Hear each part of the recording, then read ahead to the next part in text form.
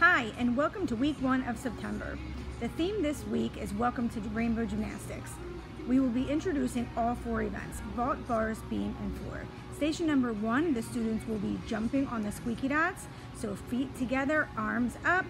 They'll jump on each one and they can say their colors when it's their turn. Station number two, we're introducing a log roll down the cheese mat. So the students will lay flat, squeeze their legs together nice and straight, arms up over their head, and roll.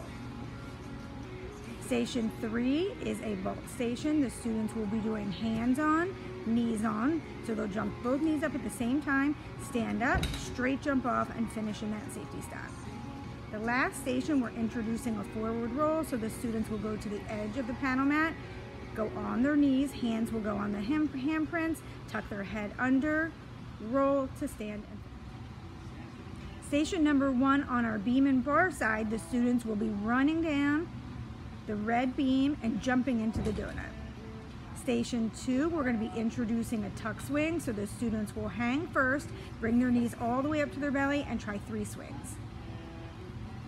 Station number three, the students will step up onto the purple beam, do their forwards walking. Every time they get to a cone, they'll have to balance on one foot and use the other foot to kick over the cone. The last station, we're doing our push swings. The students will start on the first poly dot, push and swing to the second, push and swing to the third. Have a great week.